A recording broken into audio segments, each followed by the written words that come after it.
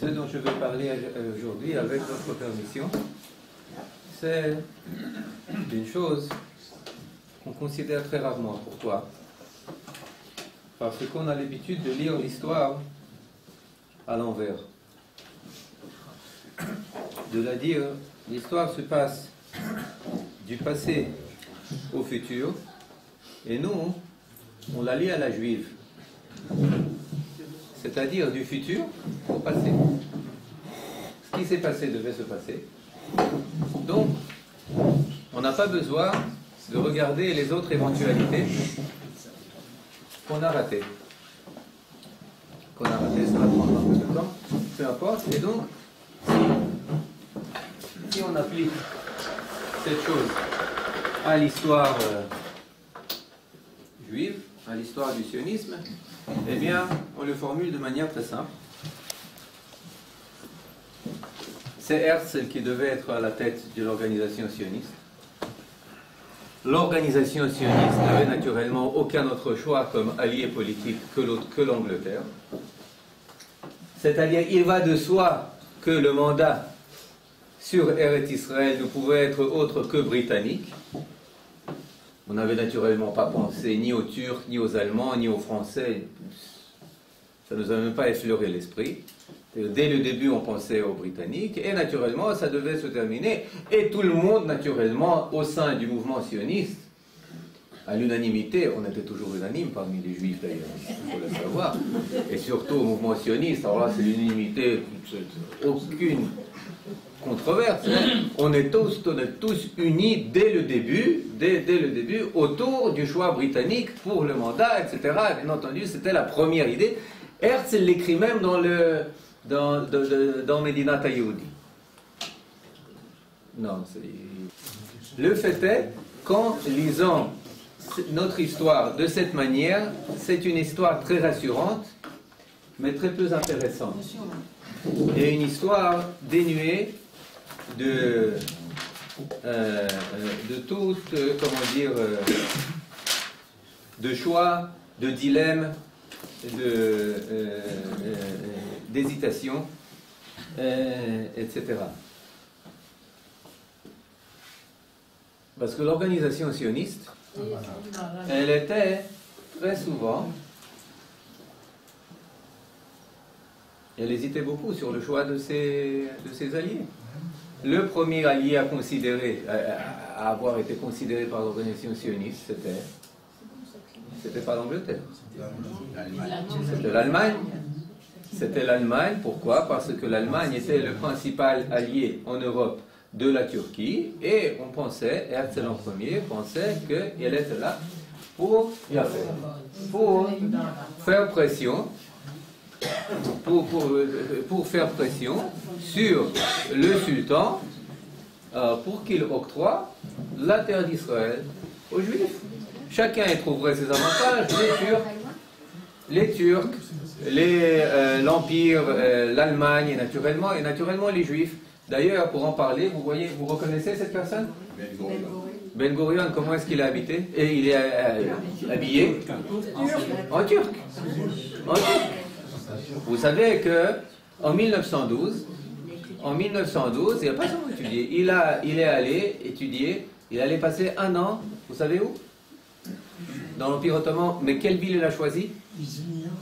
Il a choisi la ville la plus juive, c'est-à-dire?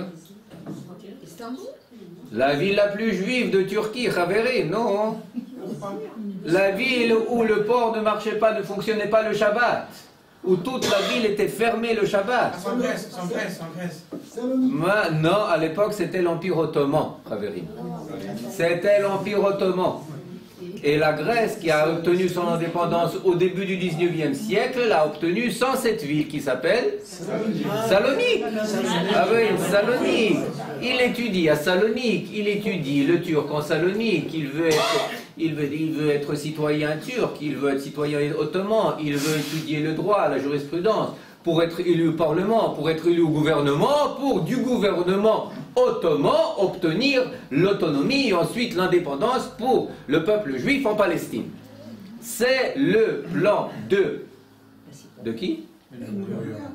Seulement de Ben Gurion? Aussi, aussi de Herzl. Non, Herzl ne voulait pas se faire élire, il ne voulait pas se, faire élire au Parlement turc. Non. Non. Mais Herzl, il pensait effectivement obtenir cela, mais se faire élire, on parle déjà de 1912, ça fait 8 ans que Herzl est mort, euh, euh, avec ceux qui pensent comme Ben Gurion, eh bien, pardon, Yitzhak Ben Tzvi, le second président de l'État d'Israël. C'est entre autres Israël Shochat. Bon, on n'a pas. Là, là, en fait, c'est une photo où euh, sur la gauche de Ben Gurion est assis Yitzhak Ben Tzvi, le second président, le second président, on en a parlé d'ailleurs, je crois, il y a un an, euh, d'Israël, qui allait étudier avec lui en Istanbul. En Istanbul pour avoir un degré en jurisprudence. Il a, il a appris le turc, pour être accepté, il devait apprendre la littérature turque, l'histoire turque, des introductions à la jurisprudence, mais tout ça, je le dis, pour signifier une chose, c'est que alors que ça fait déjà des décennies que l'Empire ottoman, c'est le sick man of Europe, c'est le grand malade de l'Europe qui est en déliquescence, mais on y attache encore des espoirs, on, y pense, on, pense en tant qu'allié quelqu'un qui va accéder à nos demandes, etc. etc. Hein. C'est-à-dire, c'était, c'était euh, le, premier, allié euh, auquel euh, on pensait. On a pensé aussi à la France. Il y a la fameuse déclaration Cambon, qui est ministre des Affaires étrangères à l'époque de Balfour, et qui donne une déclaration à peine quelques mois avant Balfour, qui est formulée plus ou moins en termes de la déclaration de Balfour sauf qu'elle s'appelle Cambon. Elle est donnée à Nahum Sokolov, qui va devenir bientôt la tête de l'organisation sioniste. Et puis, les sionistes disent eh, eh, eh, eh, Cambon. Je sais pas, c'est Cambon, pas bon, Cambon, ils préfèrent la laisser de côté. Pourquoi? Parce que parce que visiblement, visiblement, il y a une autre déclaration qui est en train de se préparer, et effectivement, qui quelques mois après la déclaration de Cambon va prendre le titre et le nom de la déclaration Balfour. D'ailleurs, il faut savoir qu'en parallèle, il y a encore une troisième déclaration qui est encore moins connue, mais qui est un peu moins favorable, mais quand même suffisamment favorable, qui est émise où? À Berlin. Encore une fois. C'est-à-dire qu'on voit qu'on a le choix. On a le choix.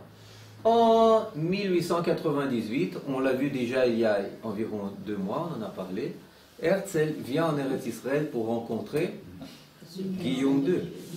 Il le rencontre à moins d'un kilomètre d'ici, là où il y a Michlelet Hadassah, aujourd'hui, c'est là où il y a le campement de, Guillaume II, c'est là où il le rencontre la troisième fois déjà en Eretz Israël, le 2 novembre 1898.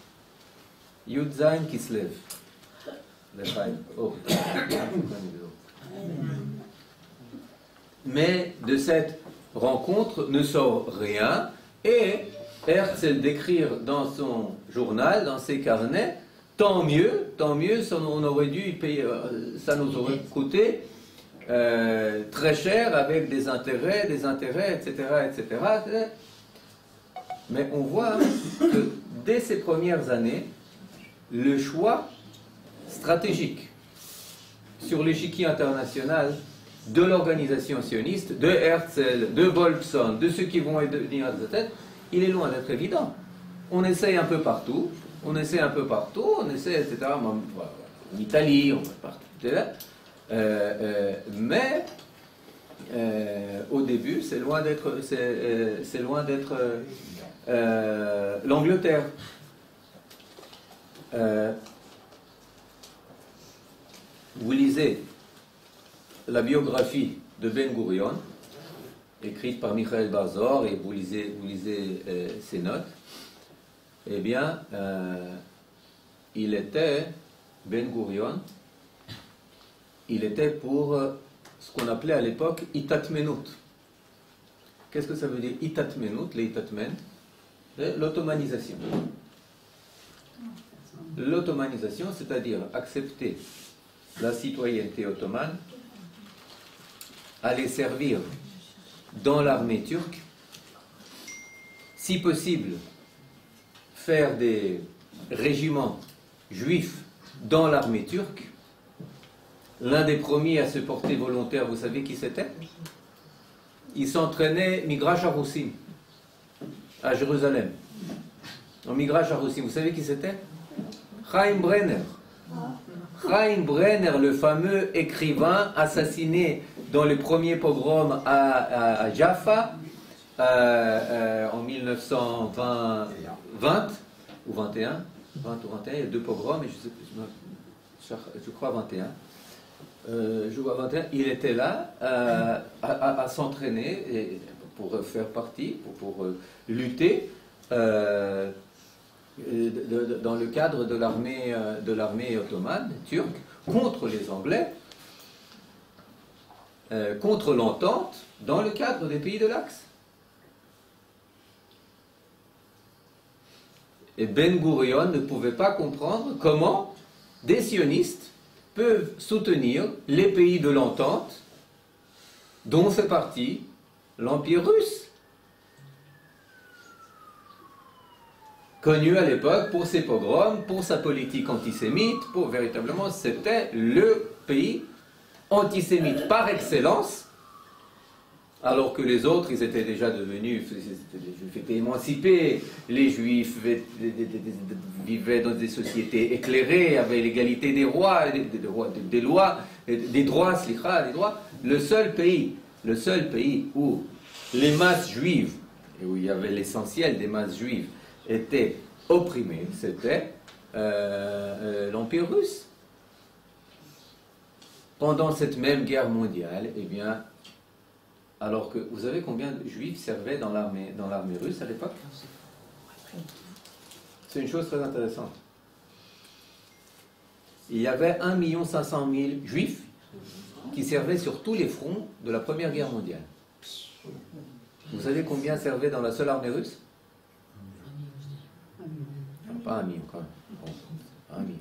650 000. 650 000 juifs servaient dans l'armée russe. Vous savez combien ont péri? Je ne parle pas de la deuxième, parle de la grande guerre, de la première. 100 000 juifs ont péri.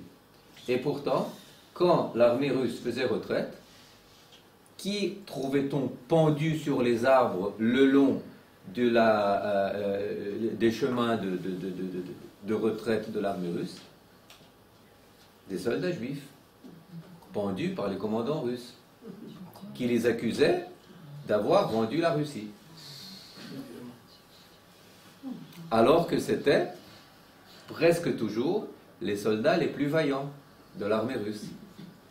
Parce que c'était les seuls à véritablement à vouloir et devoir prouver que être juif, c'est être quelqu'un de courageux, de, non, pas citoyen, parce que on n'avait pas. Non, non, non, non. On devait, on devait, on devait l'acquérir. C'est pas, on était citoyen partout ailleurs. On était citoyen partout ailleurs, Autriche, Hongrie, Allemagne, Grande-Bretagne, Serbie, France, Italie, etc. Mais pas, mais pas en Russie, à l'époque, non? Et, et, et euh, et donc Ben Gurion disait, mais non, comment est-ce qu'on pouvait, comment est-ce qu'on pouvait euh, euh, être, les alliés de nos ennemis? Il faut qu'on soit du côté des Turcs. Et alors, Baruch Hashem arrive en, en Israël Jamal Pasha. Jamal Pasha, le qui va devenir, qui va prendre la tête au nom de de toute, de toute la région. Sur la route de Eretz Israël, ils massacrent déjà tous les mouvements nationalistes, qu'ils soient arabes, qu'ils soient autres. Et là, ils disent, vous voyez, tous les sionistes mis à mort. toute, personne, toute personne qui a une carte de membre de l'organisation sioniste, de l'OSM, eh bien, il est, euh, euh, il risque d'être mis à mort. Pourquoi? Parce que c'est euh, les, euh, euh, les édits qu'il prononce. Alors naturellement, on préfère prendre la route de l'exil.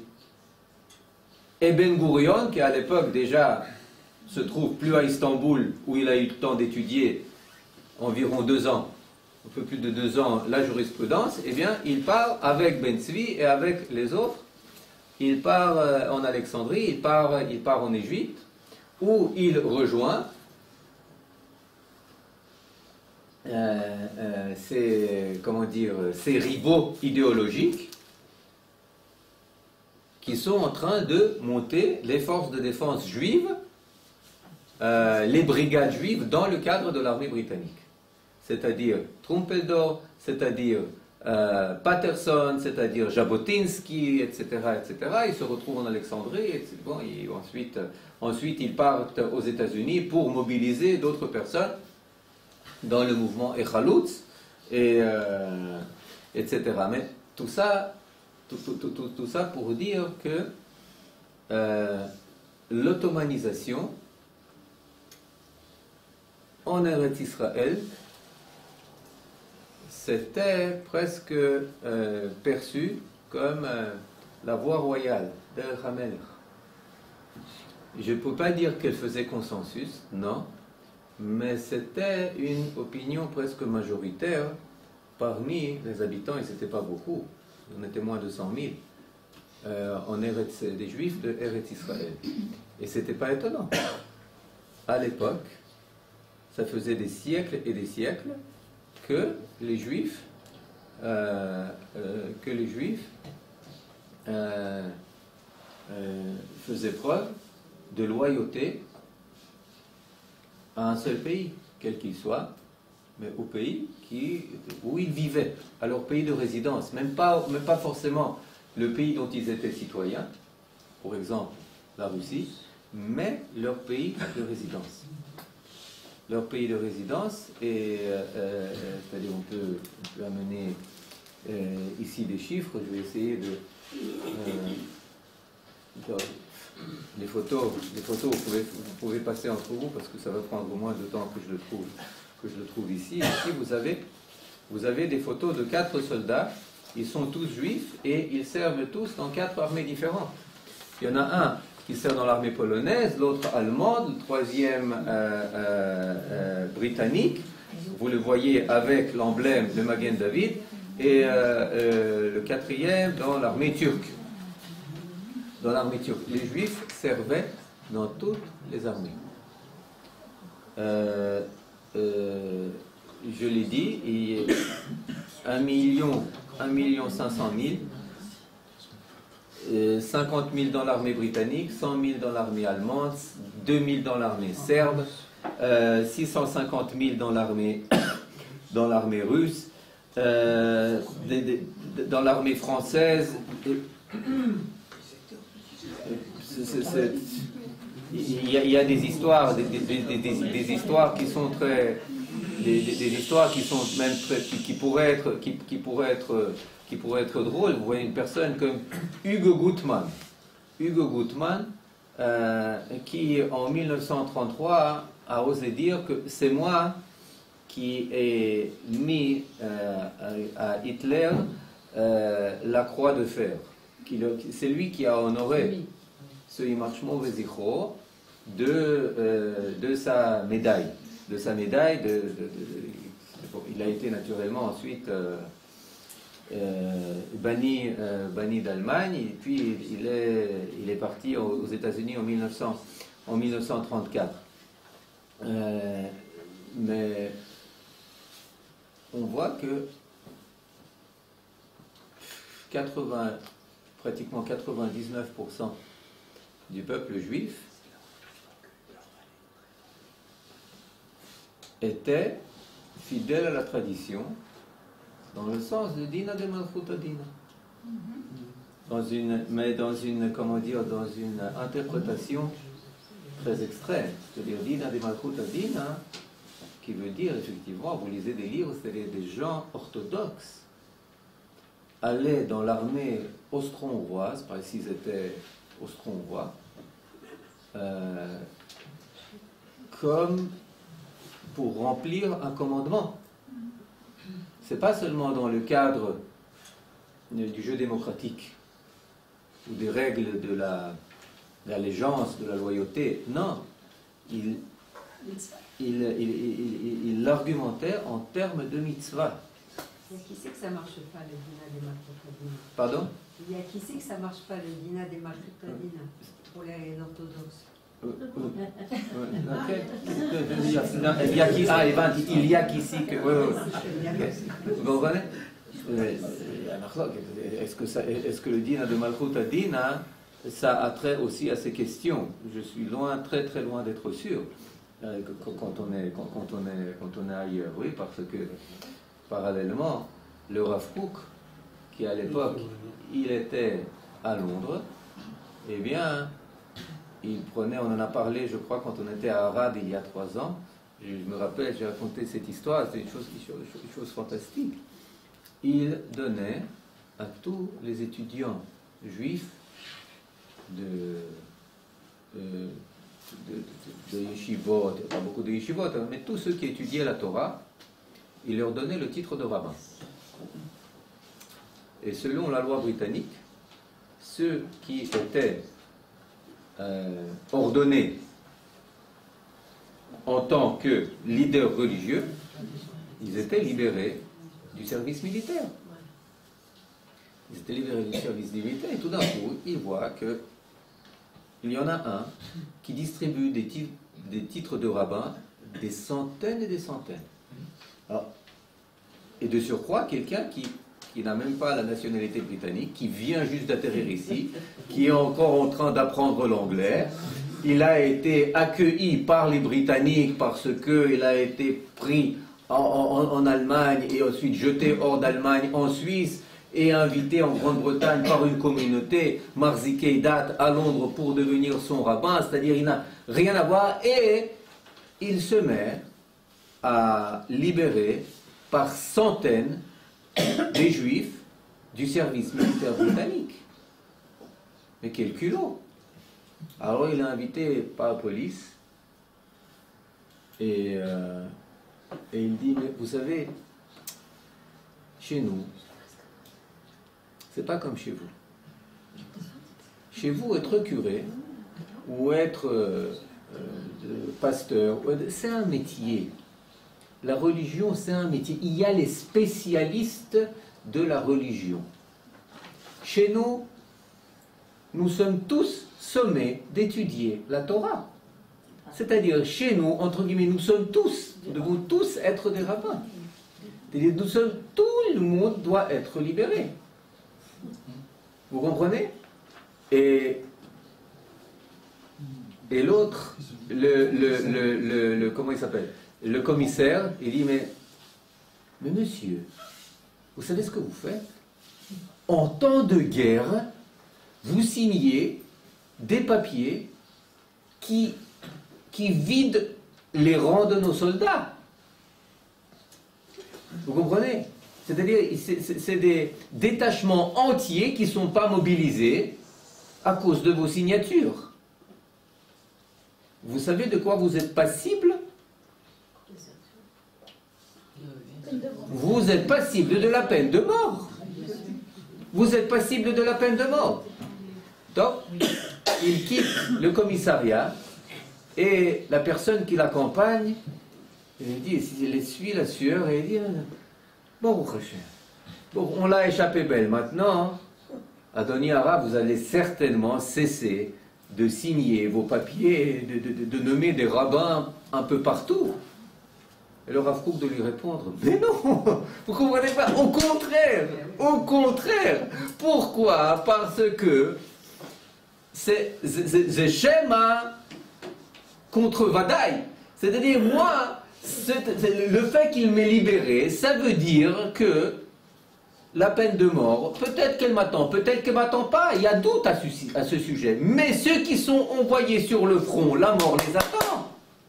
Donc naturellement que je dois maintenant, encore à plus forte raison, continuer à signer ces papiers et à, libérer encore des centaines et des centaines de juifs de l'armée britannique. C'était pas la pire des armées. Vous comprenez? Donc, mais, ça, ça c'était c'était des cas uniques. Oui.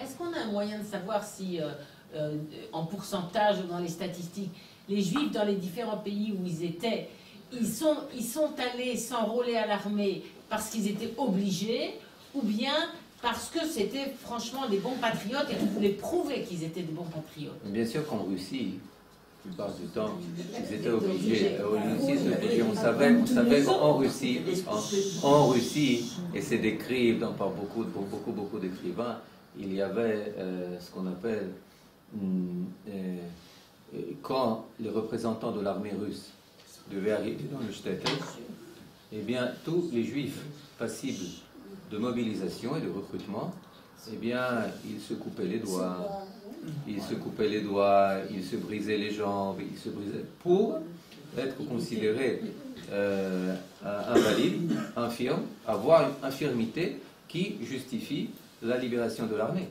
Donc ça, ça c'est une chose. Maintenant, en Occident, ça c'est une autre histoire, toute une autre histoire. Alors là, c'est le patriotisme euh, complet. Non, mais pe- pendant les périodes de guerre, c'est sûr que tout le monde est mobilisé. Oui, tout le monde est mobilisé, mais c'est ce que Brigitte demande. c'est ce que Brigitte- il y a quand même une différence entre une personne qui y va avec enthousiasme et une autre personne qui, qui, qui, qui, qui est ed, comme, comme on dit, que- qui, qui- forcé, for- for- forcé y aller. C'était pas toujours et partout la même histoire. Une fois qu'ils étaient mobilisés, alors naturellement, on devait prouver, euh, payer les galons, etc., et prouver qu'on était bons soldats. Mais effectivement, en Russie, c'était pas, c'était très différent. La première et la deuxième guerre mondiale, c'était très différent. C'était très différent parce que la deuxième guerre mondiale, là, effectivement, on y allait. L'énorme partie des juifs, ils sont allés, ils se sont portés volontaires. La première guerre, la première, c'était pas ça. C'était pas ça, Ken. Oui. En Allemagne, ils étaient très patriotiques. Mais par contre, tous les journaux allemands parlaient, disaient que les juifs n'allaient pas, ne s'étaient pas enrôlés, étaient des profiteurs de guerre. Et il y a même eu une étude commandée par le haut commandement allemand pour savoir ce qu'il en était. En fait, les résultats ont été complètement biaisés. Euh, et on a accusé les juifs après de donner le fameux coup de poignard dans le dos. Enfin bon, c'était repris par la propagande nazie. Il n'y avait pas plus de patri- patriotique que les. C'est ça, c'est ça. Et ça, et, et ça c'était effectivement très similaire et très semblable à ce qui, se passait en Union soviétique, quand elle est devenue l'Union soviétique, ce qui s'est passé en Russie, etc. Effectivement, ça, c'est devenu. euh, On accusait les juifs euh, de. euh, d'être dans les comment dire dans les arrières dans les arrières alors que les juifs ils étaient au contraire les plus plus avancés et chose de- sans aucune commune mesure avec tous les autres. Sans aucune commune mesure avec tous les autres. Effectivement. Et, mais là, je veux parler du, pour- du, du pourcent, ou de la fraction du pourcent qui a fait faux pas à cette tradition juive d'être fidèle au pays où on habitait. C'est, j'en ai parlé, j'ai donné comme exemple le Rav Kook, mais c'est euh, euh, ce qu'on appelle la brigade juive, les brigades juives. Tout d'abord les meneurs, les muletiers en 1915 et ensuite 1917 les fusiliers royaux, les fusiliers royaux 35e, 36e, 37e régiment, en tout et pour tout entre 10 et 15 000 juifs qui se sont enrôlés en tant que régiment juif avec Shabbat, avec Kashrut, avec aumônier juif, euh, Margolin, euh, avec euh, euh, euh, emblème juif, avec drapeau juif, avec front de combat juif. On a combat- combattu à Jéricho. Et on a pris le, euh, point de passage près de, près de, près de Jéricho et ensuite Gesher Adam, etc. Là où Yaakov a passé euh, à son époque le Jourdain, traverser le Jourdain pour entrer euh, en Eretz Israël. Euh, euh, C'était un cas exceptionnel où les Juifs, même intégrés dans l'armée britannique, combattaient en tant que Juifs, avec des, officiers juifs, avec un commandant qui n'était pas juif, mais qui était un grand euh, un judéophile. Il y a un livre qui vient de sortir sur lui. Encore, il y a Jabotinsky a beaucoup écrit sur lui, mais etc. Euh, des rues qui portent son nom à Jérusalem et ailleurs. Euh, et, c'était un premier cas, véritablement. D'ailleurs, les juifs, les aumôniers juifs qui servaient dans les unités britanniques ailleurs, ils s'opposaient à ça. Ils disaient mais non, mais on doit, on doit être intégré, on doit servir comme tous les Britanniques. Ils étaient contre. Ils étaient contre lorsque Jabotinsky et Trumpeldor essayaient de recruter des juifs dans East End de Londres pour euh, les enrôler dans les, dans les forces juives, eh bien, l'opposition essentielle elle venait très souvent des juifs. Pas de Churchill. Churchill était pour. Balfour était pour. Très souvent, les juifs, c'est eux qui s'opposaient. Allez- on, va, on va nous accuser de double allégeance. Mais quelle double allégeance? On sert dans l'armée britannique. On est muletier dans l'armée britannique. On sert à Gallipoli. Une défaite cuisante des plus dures de la Première Guerre mondiale pour la Grande-Bretagne. À Gallipoli, dans les Dardanelles. Avec d'ailleurs celui qui a initié cela, Churchill. Ensuite, on le lui rappelait pendant des dizaines d'années, jusqu'à ce qu'il ait été élu Premier ministre. On lui dit, chaque fois qu'il paraissait quelque part, on lui, on lui criait Gallipoli, Gallipoli. Parce qu'effectivement, enfin, il pensait percer là-bas, dans la mer de marbre, etc. Et puis pour finir, il a été pris en tenaille et tout le monde a été, tout le monde a été véritablement, enfin pas tout le monde, mais beaucoup ont été massacrés. Et c'est là-bas que les premiers muletiers juifs acheminaient les provisions, acheminaient les munitions, etc., etc. En 1915, vous comprenez? Et ensuite, ensuite, ça a été reformé. Le corps de muletier a été dissous, et on a été reformé comme fusillé de Sa Majesté. On a servi, formé en Égypte et servi à, sur le front, sur le front de Eretz Israël. D'ailleurs, il faut savoir que pendant la Première Guerre mondiale, où est-ce que l'entente a remporté sa première victoire? Pas à Verdun. Et certainement pas sur le front de l'Est, après la paix séparée des, des bolcheviks et de Trotsky. Il marche moins. Hein? Il a fait, mais en Israël. La première victoire a été obtenue en Eretz Israël, à Beersheba, quand ils ont contourné, quand ils ont contourné Beersheba, à Allenby. D'ailleurs, avec l'aide de qui ils ont contourné? Avec l'aide de qui ils ont obtenu les cartes de tous les puits, de toutes les sources d'eau, de tous les déplacements, de tous les déplacements? De qui? Nili. Vous savez ce que c'est Nili?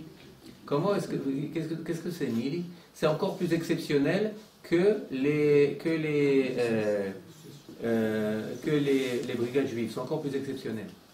C'est le premier cas de l'histoire juive où les juifs espionnent contre leur pays de résidence. Ils espionnent contre leur pays de résidence. Ils espionnent contre les Turcs. Il y avait à peine trentaine de personnes qui étaient membres de Nili. Vous pouvez voir leur, euh, à Hadera et à Zichron, il y a, il y a, le musée. À Hadera, il y a euh, la maison de Avshalom Feinberg. Il y a d'ailleurs un très bon restaurant à côté. Kacher. Kacher, très sympa. Vous voulez manger dans le restaurant. Ensuite, on, a fait ce périple avec les enfants il y a quelques mois. On a fait Feinberg, ensuite, euh, et ensuite euh, Aronson, à Zichron Yaakov. Euh, C'est ma fille qui m'apprenait tout parce qu'elle lu tous les livres à ce sujet. À il y a un musée spécialement pour cette période-là. Il a fait, Ken Oh, Et justement, on dit que les Anglais n'ont pas voulu donner d'armes aux, aux soldats juifs, ils les ont fait muletiers. Mais ça, c'est oui, ça, mais au début, au début, effectivement, effectivement, effectivement, effectivement. Et c'est Jabotinsky qui voulait refuser, et Trump- c'est Trumpeldor qui lui a forcé la main et dit non, non, non, non, non, peu importe, toutes les, toutes les mules mènent à Jérusalem.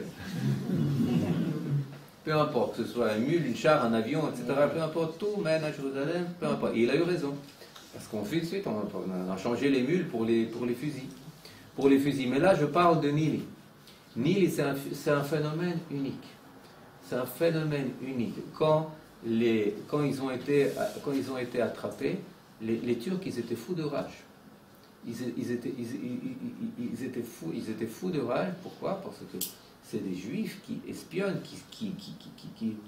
qui, servent dans- très souvent dans l'armée, dans l'armée, dans l'armée turque. Il faut savoir que Aaron Aronson, c'était le grand spécialiste euh, de l'agriculture.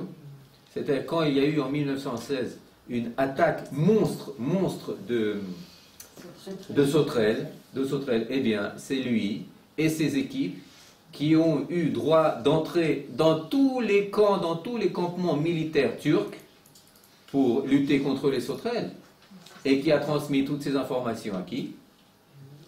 Aux Britanniques. Les Britanniques au début ne voulaient pas non plus recevoir, ne comprenaient pas ce qu'on voulait d'eux. Mais pour finir, ils ont admis que cela, c'est ce qui leur a donné véritablement la victoire, en économisant des dizaines et des dizaines de milliers de soldats. Ils estiment à plus de 30 000 le nombre de soldats qu'on leur a sauvés par les informations qu'on leur a transmises.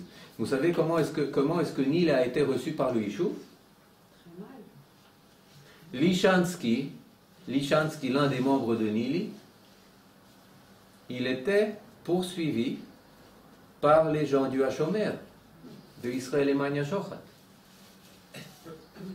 Il y avait, sa tête était mise à prix. Il y a eu un attentat contre lui, ils ont visé son cœur, ils ont atteint son épaule. Ils ont tiré dessus.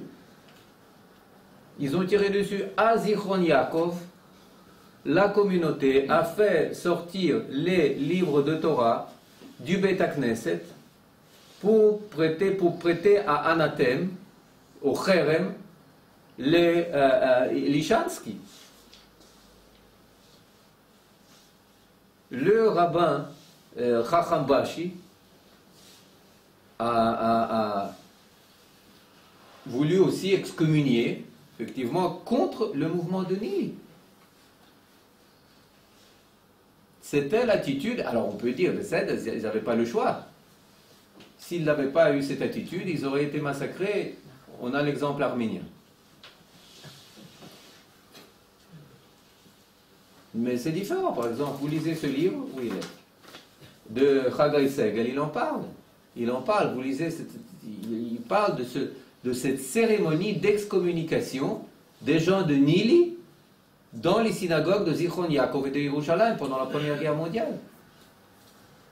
C'est sidérant.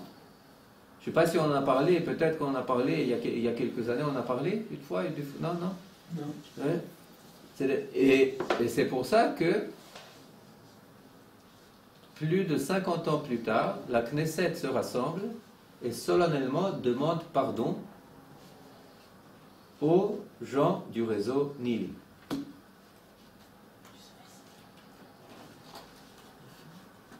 Intéressant, n'est-ce pas? Après qu'une bonne partie de ces personnes aient été torturées, mises à mort, euh, par les Turcs, soit d'abord à Nazareth, ensuite à Damas. Ils étaient attrapés, ils étaient torturés sur place, ensuite à Nazareth et ensuite à Damas. J'ai pas compris la transition, le virage, puisque le- il était euh, évident que l'allié du mouvement sioniste c'était euh, la, Turquie et, et l'Allemagne, et, et puis euh, comment on a viré aux Britanniques J'ai pas bien saisi le virage. Le virage, il est dû avant tout, pour beaucoup, aux Britanniques, qui étaient, euh, euh,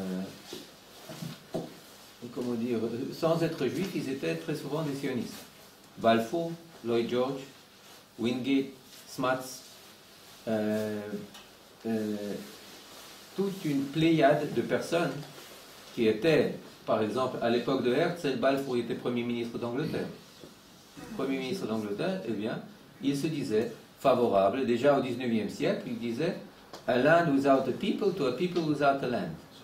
Le mouvement, qu'il soit millénariste, qu'il soit ci, qu'il soit ça, il y avait un mouvement religieux, et pas seulement religieux, mais qui était très favorable à la cause juive euh, euh, euh, en Angleterre.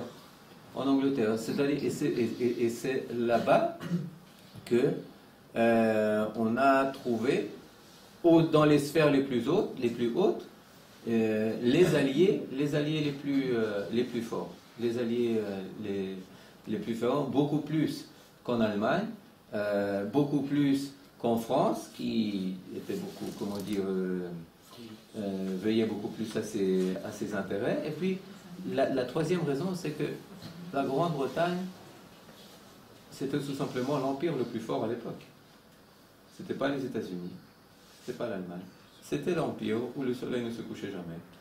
L'empire colonial, et pas seulement l'empire colonial. C'est seulement après la Première Guerre mondiale que, euh, euh, que, que c'est une puissance, sa puissance commence un peu à, baisser. Mais à l'époque de la Première Guerre mondiale, et, avant cela, eh les Indes, l'Afrique, euh, l'Amérique du Sud, etc.,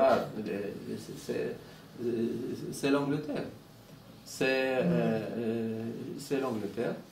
Et, euh, mais ça ne suffit pas à expliquer, ça ne suffit pas à donner, une, réponse, à votre, votre question.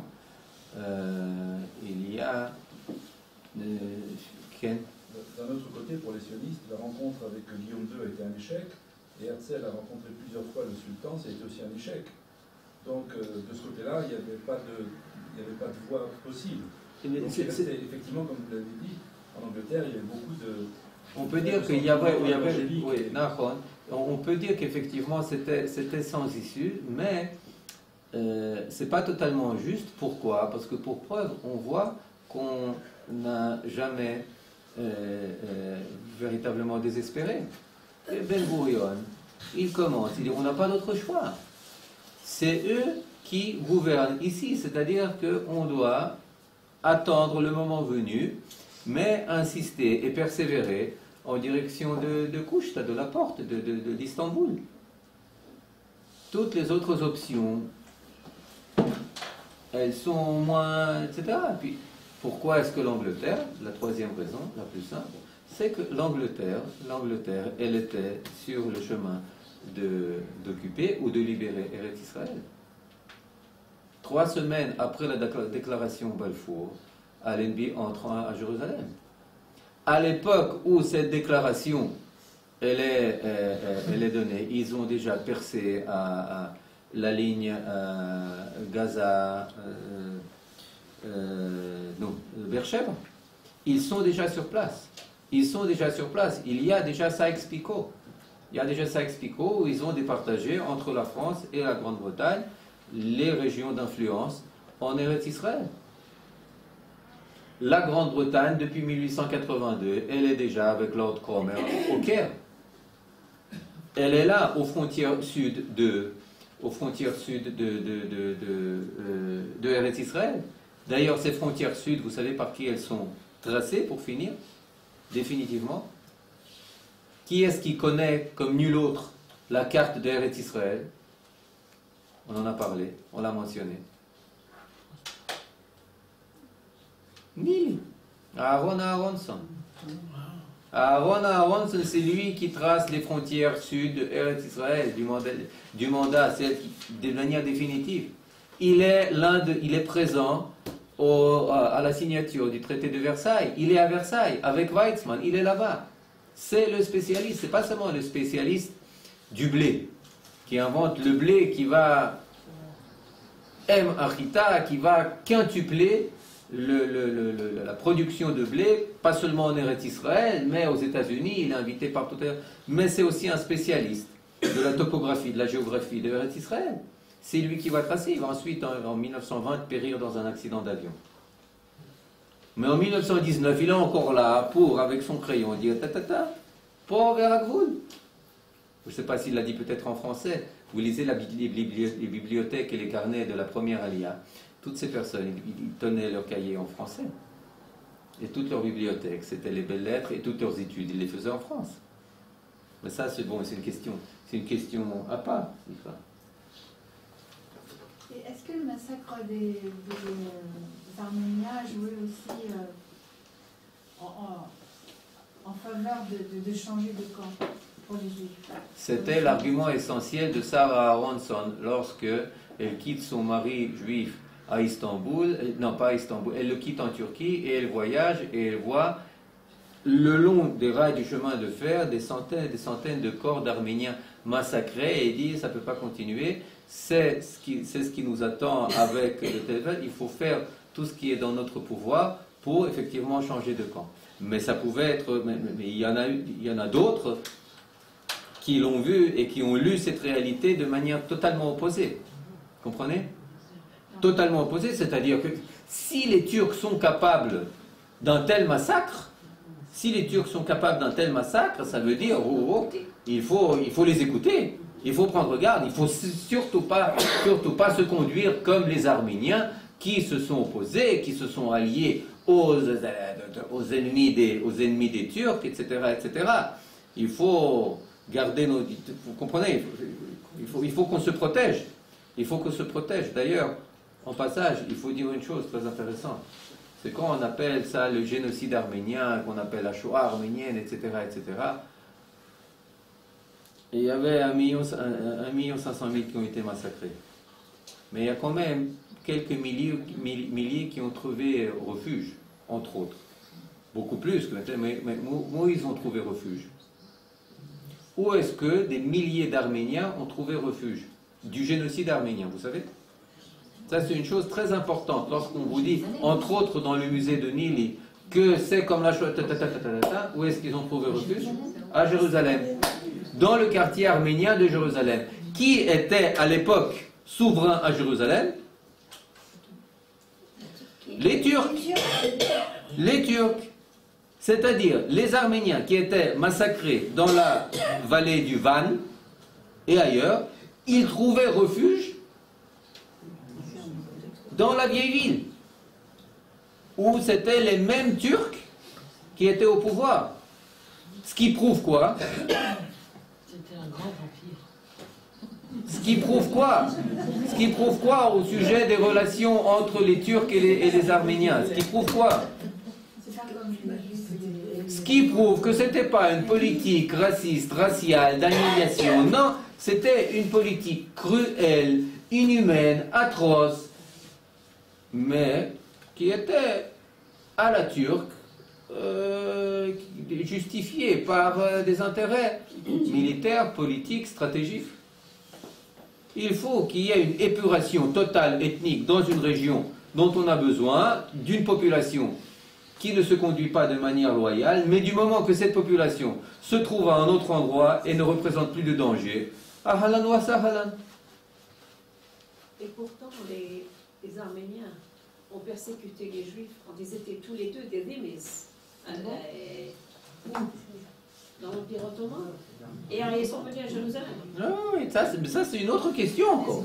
C'est encore une autre question. Ce pas des relations qui sont toutes des relations amoureuses. Non, loin de là, romantiques, compagnie. Non, non, non, mais là, j'ai juste ouvert des parenthèses. Pourquoi? Parce que tout le monde, beaucoup aujourd'hui, parle bien notre relation avec la Turquie ne sont plus ce qu'ils étaient, c'est loin d'être la lune de miel, eh bien on doit reconnaître le génocide. Peut-être qu'on doit reconnaître, mais certainement on doit reconnaître, mais pas dans des termes qui sont identiques ou même proches de ce qui s'est passé à, Auschwitz et à Treblinka.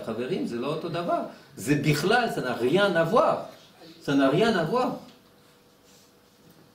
Les mêmes Arméniens, Arméniens qui étaient massacrés lorsqu'ils étaient en un endroit n'étaient plus massacrés lorsqu'ils étaient dans un autre endroit, alors que la souveraineté à l'endroit 1 et l'endroit 2 était la même, turque, ottomane. Comprenez? Ça, c'est une chose. Mais bon, là, c'était véritablement un peu une, parenthèse importante, importante parce qu'elle touche aussi à notre histoire et à, euh, ce qui me semble qui interdit de banaliser notre histoire. Véritablement, on doit servir d'étalon, mais pas, certainement pas de banalisation. Mais maintenant, en revenant, euh, en revenant à, à Nili, en revenant à Nili, on voit que c'est une exception encore plus grande encore plus vaillante et courageuse que les brigades juives de Jabotinsky et Trompeldor. Quelle? Non? Non? Ah, Une exception encore plus grande, plus grande parce que ils agissaient du derrière des lignes, ennemies. Et chaque fois, il y avait ce bateau britannique qui venaient aux côtes de Athlite, euh, qui leur donnaient des sous et auxquels ils donnaient des informations, et pas seulement auxquels, etc. Et puis il s'appelait Mahanigam et il l'appelait le Menachem. Manigam, Menachem, ah bon? S'appelait ce bateau le Menachem.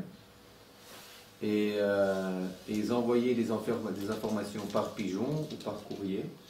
C'est d'ailleurs de cette manière qu'ils ont été attrapés. Il y a plusieurs versions sur la manière dont ils ont été attrapés. Euh, euh, euh, mais avec les fonds qu'il recevait, c'était pas seulement, aussi ça c'est autre chose, c'était pas seulement pour soutenir le réseau d'espionnage, c'était aussi pour soutenir la population juive qui mourait de faim en Eretz Israël sous administration et sous occupation turque. Les juifs mouraient de faim. On était près de 90 000 avant la guerre, on est après la guerre, on est 57 000. Et tous les autres, c'est pas qu'ils ont quitté. Lorsque une expédition, l'expédition d'Henrietta Zold, avec 40 médecins qui sont venus, organisés par le mouvement Hadassah des États-Unis, arrive ici, eh bien, elle part du troisième Khurban. Vous lisez ses lettres, Henrietta Zold, elle part du troisième Khurban. C'est la famine, c'est c'est les maladies, c'est les épidémies, c'est les juifs qui sont recrutés de force dans l'armée, ottomane. Les premiers juifs qui ont été mis à mort à la porte de Jaffa,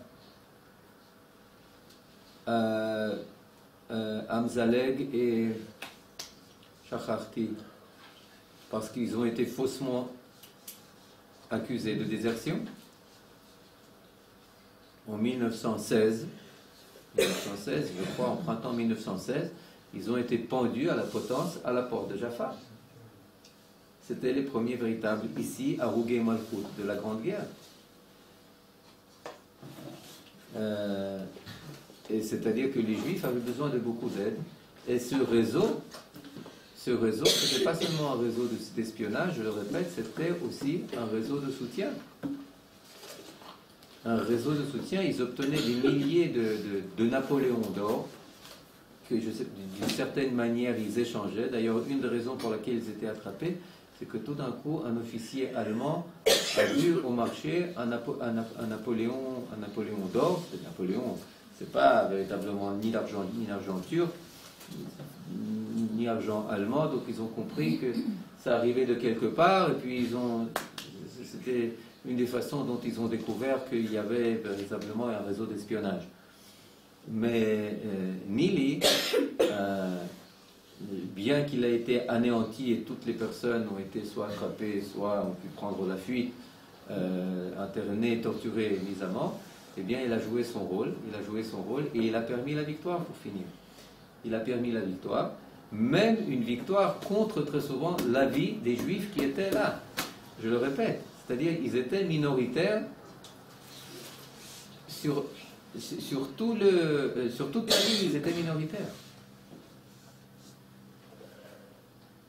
Belkin, Feinberg, Aronson, Aaron Aronson, Sarah Aronson, les frères, etc., etc. Vous lisez leur histoire. Lishansky. Alors, très souvent, on préfère en faire une histoire d'amour qui est aimé, Sarah, qui si décède, décède, décède.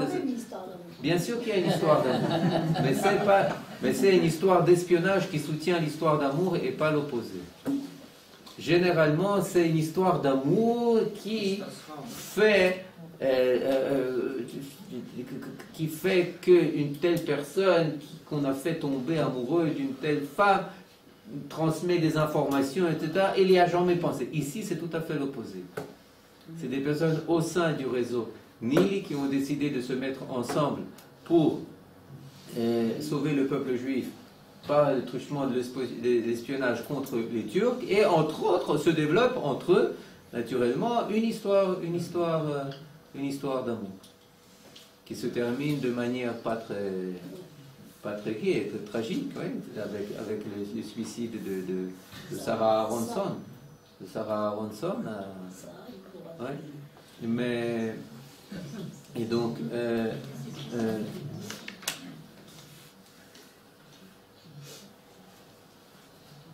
l'alliance aux Britanniques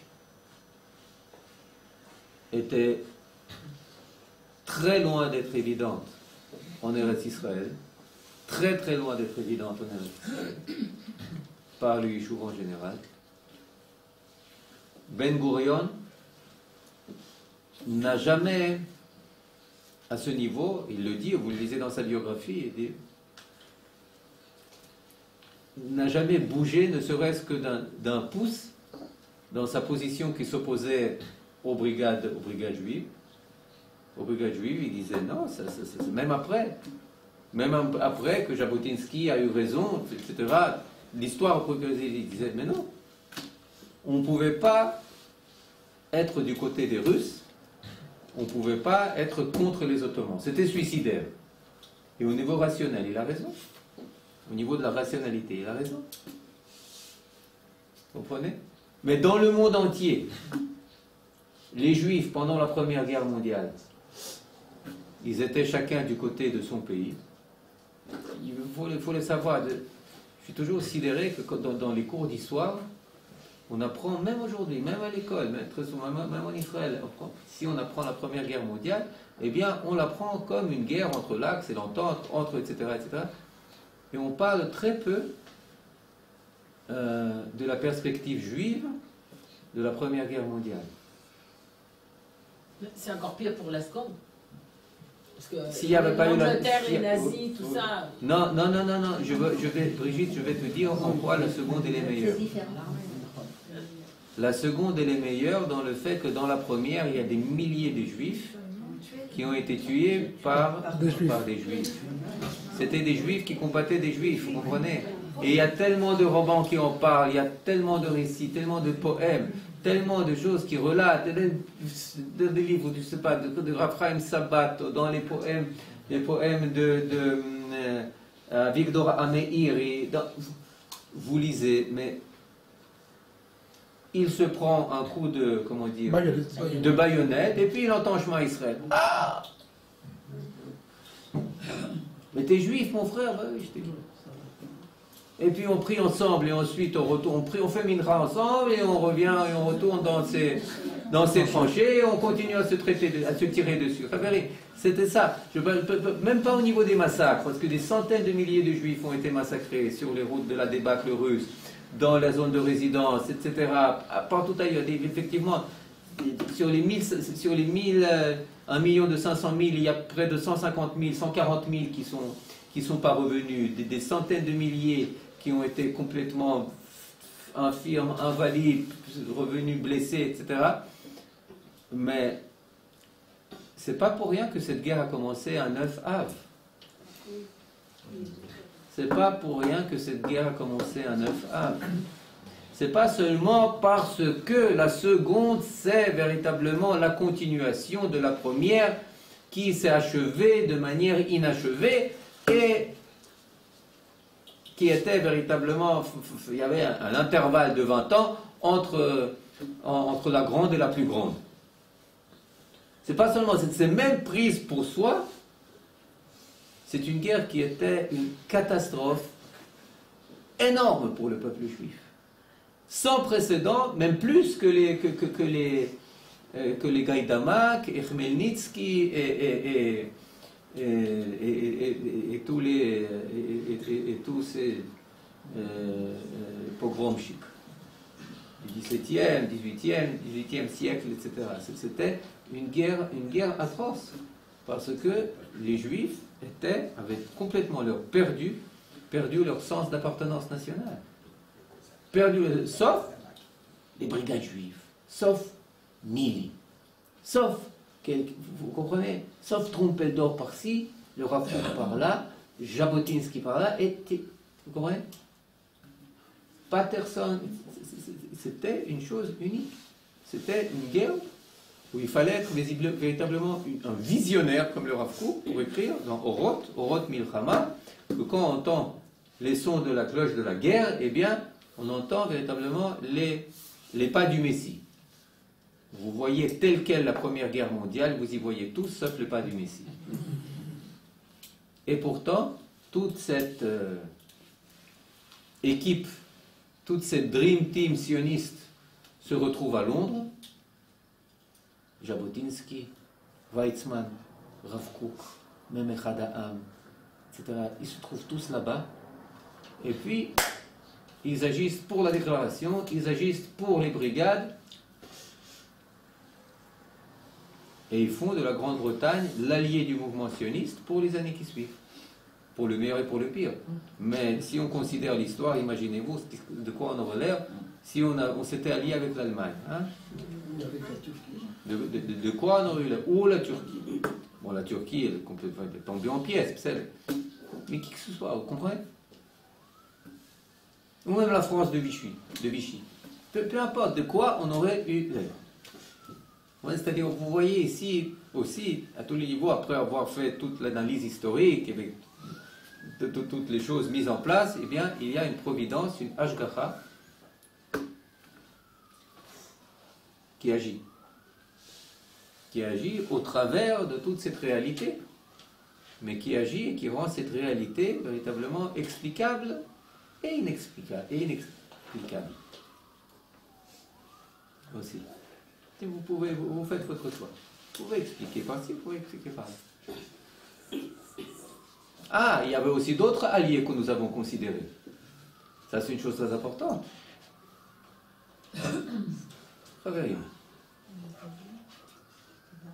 Ça, c'est une chose. euh. Le rédacteur en chef du journal des jeunes Turcs s'appelait Hochberg. Hochberg, ou Holberg, ou Hochberg, enfin c'est un juif. Les jeunes Turcs, révolution des jeunes Turcs, un nationalisme, le nationalisme. Et ensuite, on s'est dit, ben écoutez, s'il y a le réveil national, et qu'en 1905, avec la révolution, par la révolution, euh, Neguib Azouri euh, publie le livre en français, Le réveil de la nation arabe, eh bien, il faut qu'on soit les alliés de la nation arabe. Alors, il y a aussi une autre voie, on n'en a pas considéré. Il y a jusqu'en 1914 et même jusqu'en 1919, avec l'échange de lettres entre Sherif Hussein et Chaim Weizmann, on considère la voie arabe que c'est les Arabes. Il y a cinq députés arabes d'Eretz Israël qui euh, euh, siègent au Parlement à Constantinople, qui vont défendre notre cause juive en Turquie. Ou quand ils vont avoir gain de cause, c'est eux qui vont donner l'indépendance ici. Nous sommes invités en tant qu'observateurs au congrès euh, nation- nationaliste arabe jusqu'à la Première Guerre mondiale. Vous comprenez? Chose intéressante. Et vous lisez Rupin, qui est représentant en Eretz Israël du bureau d'Eretz Israël de l'organisation sioniste, il écrit à Weizmann Nous devons être les alliés des Arabes. Et ça, c'est une chose, ça, c'est une chose. On peut penser aux Turcs, on peut penser aux, aux Allemands, on peut penser aux Arabes. Oui, on a pensé aux Arabes. Très sérieusement pensé aux Arabes.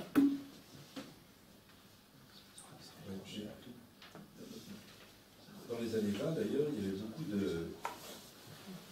d'hommes politiques en Égypte qui étaient, qui étaient pour le mouvement sioniste. Oui, Nahon. Nahon. Le shérif Hussein, celui qui est dépositaire des lieux saints de l'islam, écrit dans un échange de correspondance avec Weizmann, la fameuse correspondance, il dit bien sûr, vous êtes nos, vous êtes nos cousins, c'est votre terre, mais c'est pour notre bien. Ahlan wa sahlan. Ah, ah, une chose, une chose. Si les Britanniques nous donnent pas ce qu'ils nous ont promis, je, je dirais que je t'ai même pas écrit cette lettre.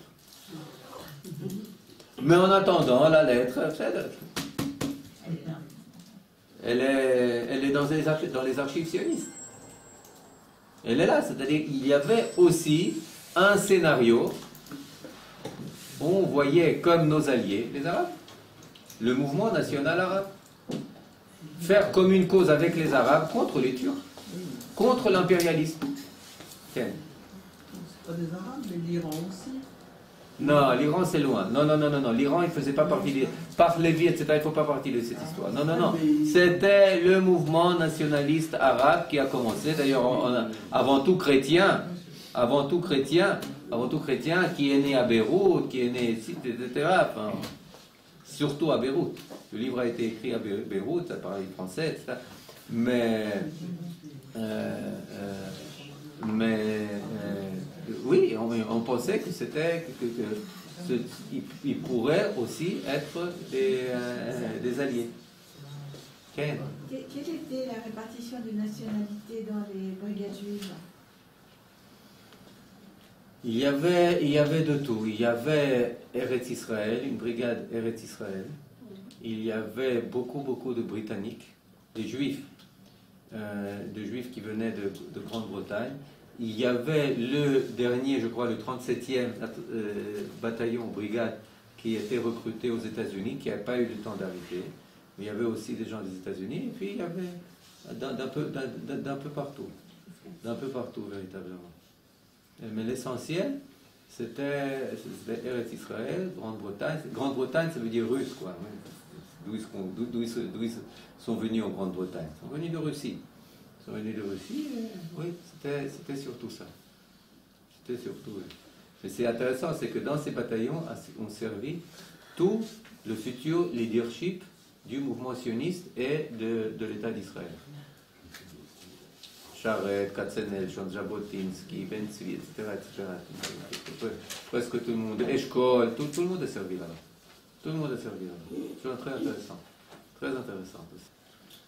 Alors c'est-à-dire on voit que c'était un carrefour, c'était un choix euh, qui était loin d'être évident, qui aujourd'hui nous paraît beaucoup beaucoup plus évident et simple qu'il n'en avait l'air à l'époque. J'imagine beaucoup- beaucoup de choix qu'on doit faire aujourd'hui vont dans 100 ans paraître euh, un jeu de un jeu d'enfant. Alors qu'aujourd'hui, on a des élections et des, controverses et des disputes pour, euh, en décider. Quelqu'un qui va voir ça il y a 100 dans- dans 100 ans, dans 25 ans, Balayla. Donc, comment il se